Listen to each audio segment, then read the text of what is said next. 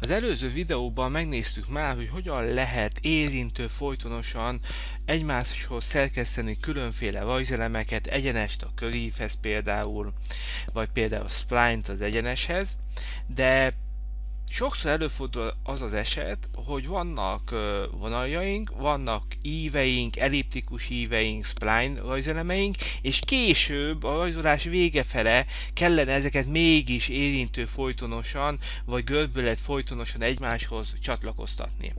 Ez a feladat egyébként nem egy teljesen új probléma, több megoldást kínál az AutoCAD rendszere, de nem volt ez mindig olyan egyszerű, mint amilyet most be tudok mutatni nektek. Ugye a letörés és a lekerekítés parancs az már igazándiból két rajzelem egymáshoz illesztéséről szólt, ha jobban belegondolunk, de jó lenne, ha nem csak íveket, köríveket, egyeneseket tudnánk, hanem spline-okat, vonalláncokat is tudnánk egymáshoz különféle geometriai perem feltételek mellett illeszteni. Ez nagyon fontos egyébként a műszaki rajzba. Rajzoljunk egy egyenest, és egy spline görbét, és valószínűleg majd akkor maga a probléma is sokkal világosabb, érthetőbb lesz mindenki számára. Tehát a feladatunk az, hogy az egyenest mondjuk érintő folytonosan kellene illesztenünk ehhez a spline görbéhez, tehát itt kellene kiszerkesztenünk a, a spline-nak egy olyan részét, amely érintő folytonosan illeszkedne az egyeneshez is, meg a meglévő splinehoz is. Ez nem egy egyszerű feladat de az AutoCAD szerencsére ö, megoldást kínál erre a problémára. Menjünk a kezdőlapfül módosítás paneljára, és a lekerekítés ö, menüpontot görgessük le. Ugye itt van a lekerekítés és a letörés opció, és a görbék simítása funkció is, azaz érintő vagy sima spline létrehozása két nyitott görbe végpontjai között. Pontosan erre lenne most szükségünk. Klikkeljünk rá, Látható, hogy a parancsolban megkérdezi, hogy milyen legyen ez a folytonosság. Ha most rámegyünk, lehet olvasni, hogy érintő vagy sima. Az érintő opció esetén a két hajzelem folytonossága érintő folytonos lesz, ez G1 peremnek nevezzük, ilyenkor egy harmadfokú spline görbe jön létre. A sima esetében nem csak érintő, hanem görbület folytonos lesz az érintkezés, ezt G2 perem értéknek nevezük, és 5 fokú spline görbe fog létrejönni. Nézzük meg először az érintő kritérium mellett, hogyan oldja meg ezt a feladatot az AutoCAD.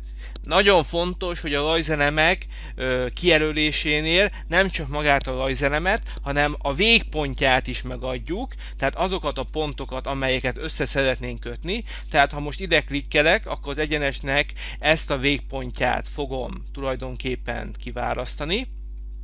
És ha ide jövök, akkor már az autóket szépen föl is rajzolja, hogyha ide klikkelnénk, akkor hogyan nézne ki ez az új spline görbe. Lehet látni, hogy nagyon szépen megoldotta ezt a feladatot az autóket. Ha elpenelek, és ide jövök, akkor pedig fölrajzolja azt az esetet, hogyha ezt a végpontját szeretném összekötni a spline görbével, akkor hogyan nézne ki a rajzelemem. Most ráklikkelek ide, és szépen létrejött az új rajzelem, amely a két rajzelememet összeköti. Hát ezt kézzel sokkal nehezebb lenne összeszerkeszteni, ez tényleg számítógépes támogatása van szükség. Egyébként a görbék simításának az utasítása az a simít, tehát ha begépeljük a parancsolba, akkor szépen kiadhatjuk az utasítást, folytonosságot tegyünk most simára, megint csak megadom ezt a egyenest, meg ezt a spline végpontot, és akkor lehet látni, hogy mi a különbség a G1 meg a G2 perem feltétel között, el lehet fogadni ezt is, és akkor itt van, ugye adok neki valamilyen szint, mondjuk sárgát, ez lesz a simított, és alatta mondjuk zölddel fogom jelölni a folytonos illeszkedést. megint csak adjuk ki a simít utasítást, folytonosság legyen mondjuk érintő, és ha ide klikkelek, és a spline másik végpontjára, akkor nagyon szépen összehozza, tehát ő a érintő folytonos megoldás, és ha belemegyek, kiválasztom a folytonosságot, hogy sima, végpont, végpont, itt már markáns a különbség, ez lesz a sima illesztés. Tehát mindig a feladatunkhoz leginkább megfelelő ö, folytonossági kritériumot kell választanunk, és akkor nagyon szép ö, spline görbéket tudunk létrehozni, amely a meglévő elemeket összeköti.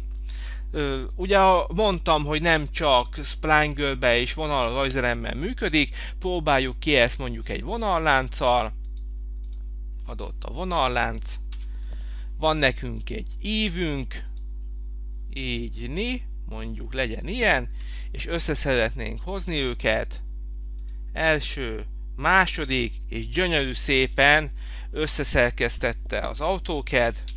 Valóban egy nagyon hasznos ö, utasításról van szó, hogyha valaki már dolgozott spline-okkal, vonalláncokkal, akkor tudja, hogy ez mekkora segítség lehet a rajz készítése közben. Nézzük meg még ezt utoljára, és voilà, elkészült az új spline elem, ami megadott pelemértékek mellett köti össze ezeket a meglévő elemeket. Tulajdonképpen ezt igazándiból már sokszor mondtam, de erre is igaz, hogy enélkül szép és helyes műszaki rajzolást nem lehet elképzelni az autókedben, tehát mindenféleképpen célszerű megjegyeznünk a görbék simítása opciót. És arra is még fölhívnám a figyelmet, hogy érdemes a szallagon elidőznünk, a menüpontokat kinyitogatnunk, hiszen nem gondolnánk azt, hogy például a lekerekítés és a letörés mellett a görbék simítását itt találjuk, pedig valamilyen értelemben ez logikus.